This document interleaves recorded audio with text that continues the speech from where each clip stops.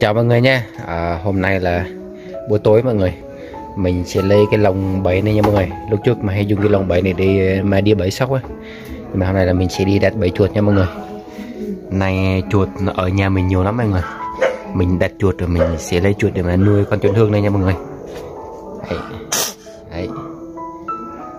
cả chuột hương à, lúc trước mình nuôi là nó từ có 8, 8 9 lạng thôi chưa tới kia đâu. Mà bữa nay nó mập lắm rồi bữa này là nó cần hơn hơn hai hơn hai kg rồi đấy. Đấy mình đang cho nó ăn à, ăn à, ăn ăn chuối với lại ăn ăn chuột này. Bây giờ mình sẽ à, đi bẫy chuột xung quanh đây nha mọi người. Đặt hết xung quanh này để mà à, kiếm chuột nha mọi người. Để sang mai cho ăn ngày mai.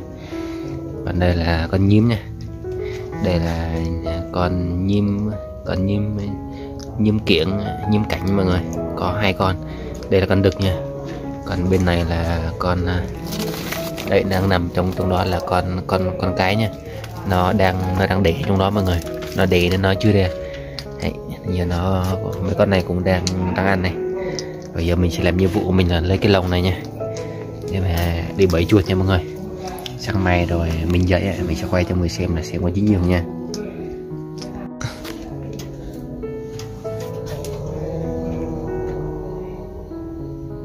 Đấy còn chun hương đang khè nha mọi người. Mình đặt rất là nhiều rồi này.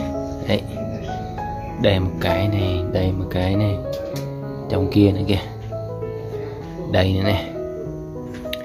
Nói chung là mình đặt rất là nhiều luôn. À, để mà bắt chuột à, nuôi chun hương nha mọi người.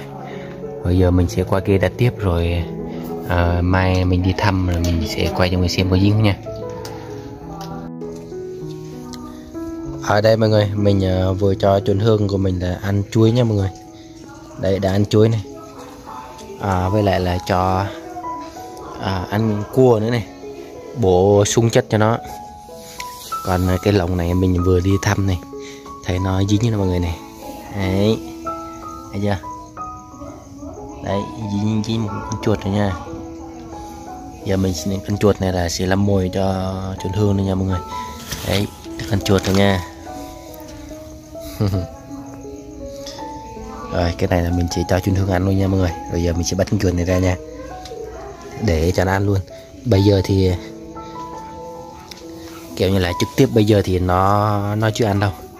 Khi mình mà bỏ vào á của buổi tối tối ờ, muộn hơn nữa à, thì nó sẽ ăn nha mọi người. Còn bây giờ là nó đang ăn nó đang ăn đang, đang ăn chuối này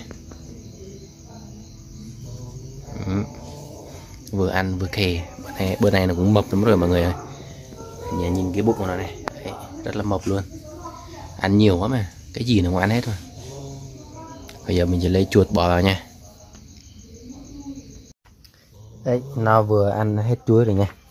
Để tôi ăn, ăn chuột chuột nha. Ừ. ăn chuột đấy. Bây giờ là nó chưa ăn đâu.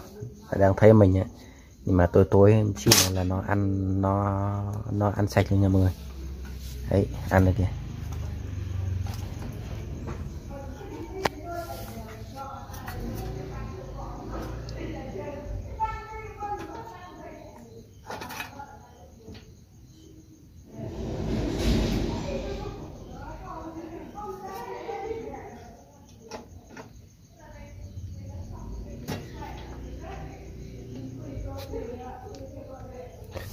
Mình mà ở rừng là cái bẫy của mình hay dính chuột sóc á, là cũng bị mấy con này ăn ban đêm nha mọi người.